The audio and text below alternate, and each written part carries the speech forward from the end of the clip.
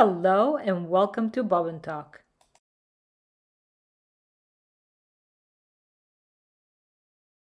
So now I want to start creating the logo, the Chanel logo that's here on the lock. So what I'm going to do is I'm just going to take a picture of this particular area and bring it into Clo. So it's just easier for me to look at it. So I'm just going to create a rectangular piece and I'm going to make it three by three inches. And let's just go to the 2D window. I'm going to bring in picture as a graphic. So that's going to be this one. I'm going to place it right inside. Just move it a little bit so it's right in the middle. So that'll be my reference. For the logo, you can start working as a pattern. We're going to create an object. Let's come to an ellipse. And you can also lock this. So I'm going to lock this. And then I'm going to utilize the shapes here. So I'll just overlay the shapes on top of it as much as I can. And it's kind of difficult to see because it is blue on blue. It might be better to take a picture from the white handbag. So let's do that. We'll grab one of these. And let me take a picture of this one. I'm to create one more pattern piece and see if that's actually better. So I'm to create a rectangle. I'm to lock this aspect ratio and put three for both of them. And I'm to bring the graphic again. So I'll bring that, place it right in the middle, click OK and just adjust it and see if that will be easier for me to work with. I'm going to lock everything and I can trace on the blue one or on the white one, whatever's more comfortable for you. So I'm going to come into internal polygon line shortcut G. And I'm going to simply trace the logo without this. I'll create a separate shape for this middle part. So you can trace it and create your curve lines by holding the command key on Mac, or you could also just create straight lines like this and then come back and create the curvy part of them. I'm gonna do the curvy lines as much as I can and I can take a look at it later and see if I need to balance the lines or adjust them in any way, shape or form.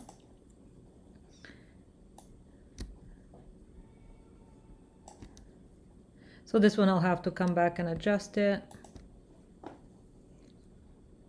Sometimes it's easier to just click and it's good to get in the center of the line and just click there. That will create a more balanced, better curve.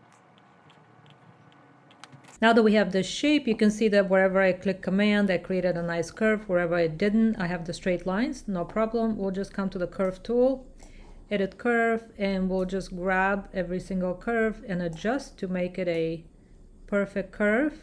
And you have control over that. So just come and click on edit curve point and then you'll get the two handles and just adjust your handles as needed. Just click on the point and grab the shoulder that you need to edit.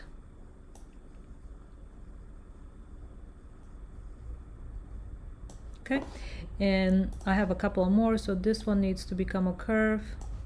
That looks good. This needs to become a curve. Until you highlight, it's a little difficult to see exactly what the line looks like, but this is one, this is the other. And that looks pretty good. So whenever you're happy with the overall shape you can select the shape right click and clone as pattern. And you'll get your pattern piece and you can put to the side. Next, I'm going to create a hole in the middle and I'll place a separate pattern piece here because I want that to be thicker, higher, to stand out more. So I'm going to cut out a hole in the middle where I'll be placing that piece. That looks about right and I'm just gonna center it. And I'm also noticing here that this is not perfectly balanced. I can adjust those points too. So this one for example I'm aligning it with the circle and I'll do the same one for this one. So that looks a little better and this can be also adjusted a little bit. Make sure all of the lines are selected and right click and just cut. So now I have two separate pattern pieces and this will become my pattern piece here. I can create a separate pattern piece or just slightly edit this one to match this shape. And what you can do is you can also bring that piece here and see how exactly you need to edit it.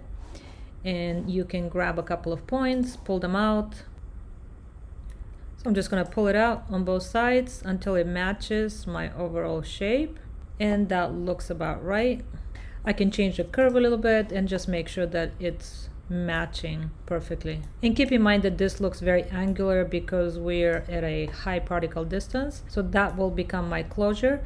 And all I need to do now is give thickness to these two pattern pieces. And for that, we're gonna select both of them, open object browser, property editor. So from fabric matte, I'm gonna change this to, I can change it to metal and come down to simulation and under additional thickness rendering you can add thickness. Create the same for all pattern pieces.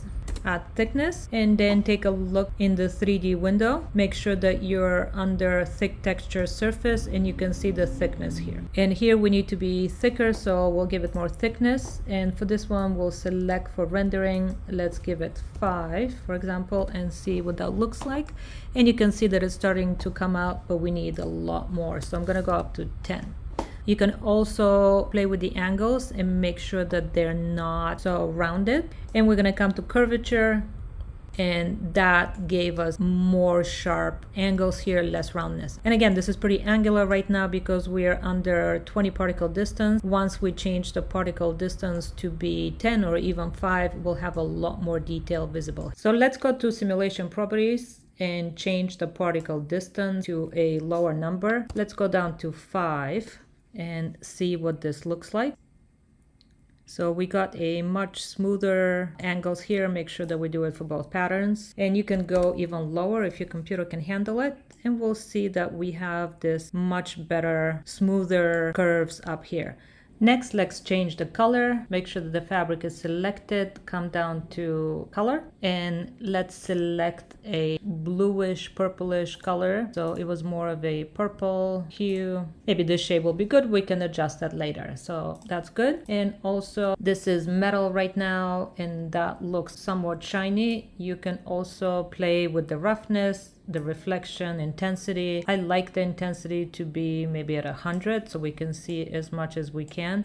The metalness here is also 100 and that will make it shiniest. And you can include some kind of a metalness map if you'd like to create one and make this whatever you desire it to be. So play around with the settings here and now we're ready to export this as an object. I really need to get rid of all the other objects because whatever you have here will become part of the object. Delete these and we have just these two. And now we can go to File, Export as an object. And I'm gonna call it Chanel logo lock. You can call it whatever you like. And I'm putting it in a folder that I already have. It's going to appear in the library. So let's save that. In here, I want all patterns, single object. I'm going to choose this to be thick. Scale in millimeters is fine and this is fine too. Click OK. And then let's see if it will appear here in my library. I saved the file under hardware and trims to be called Chanel logo and let's apply this to the bag. Next I have opened up the file with my bag with the chain that we did and I'm gonna bring in the Chanel logo as the object file that we created for it. So I'm gonna go to library. I've created a folder under hardware and trims called my hardware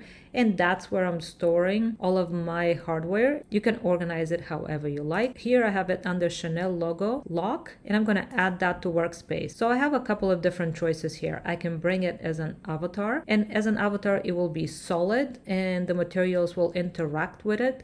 But if I move the bag, it will not move. It will stay where it is. So I would rather bring it as a trim. This way I will have the capability to attach it exactly to the place place that I want and it will stay there if I move the bag. So I'm going to click OK. I'm also going to close the library so we can see here everything better. And I'm going to go just to 3D window so we can see. It's up here. So I'm just going to move it right in front so we have it a little bit closer. When it comes as a trim, you have the little glue bottle here it's blue and it's glue. So the glue blue bottle, left click on it. And now the logo is in your hand and you can attach it anywhere you want. So I'm gonna come really close and make sure that I place it kind of in the middle of the tab here. And obviously we need to change the scale. So I'm gonna click right here on the gizmo to get the pulleys. And I'm gonna shrink it a little bit just to get it to the right proportions. And you can also increase the thickness of it if you want it. So you can make this a bit in or out. And when you're happy with the size of it, just click back on the gizmo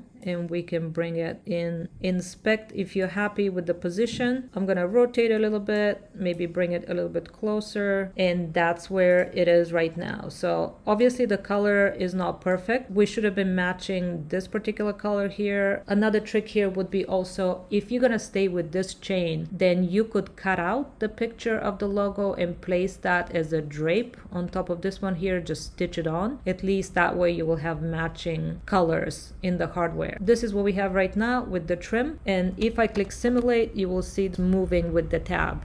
So for next part of the video, we can explore how to create the chain here through the same process with creating an object, exporting it, and then bringing it in. Subscribe to Bobbin Talk for more videos and to watch the next part.